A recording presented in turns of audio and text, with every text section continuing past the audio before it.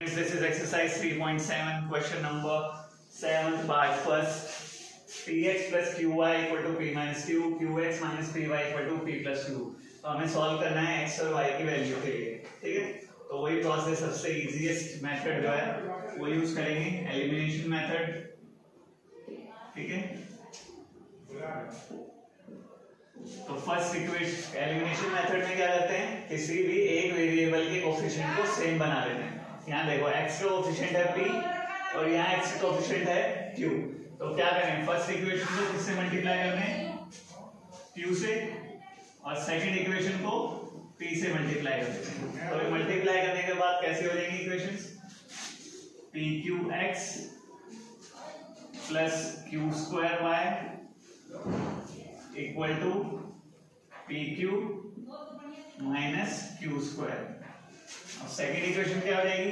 P Q X minus P square Y equal to P square plus P Q ठीक है?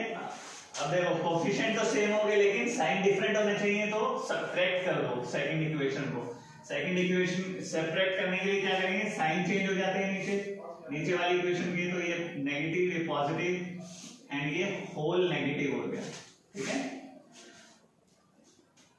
तो अब x eliminate हो गया हमारा, ये Q square plus P square common y ले लो यहाँ, ठीक है?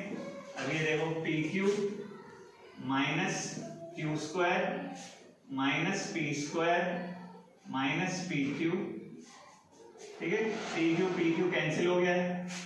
तो Q square plus P square bracket y equal to minus minus common ले लेता हूँ मैं। तो ये क्या हो जाएगा? Q square plus P square Y इधर जा रह गया। ये मल्टीप्लीकेशन में तो यहाँ जाके डिवीज़न हो जाएगी।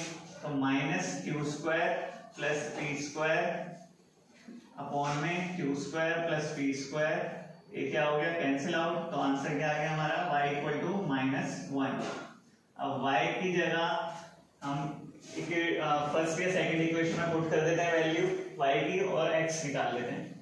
तो फ़र्स्ट इक्वेशन में रख देते हैं y की value p, x plus q, y की जगह minus one equal to p minus Q plus की जगह यहाँ माइनस आएगा। ठीक है? P X equal to P minus Q Q उधर जाएगा प्लस क्यू हो जाएगा। ये क्यू क्यू कैंसिल तो x equal to p upon p that is one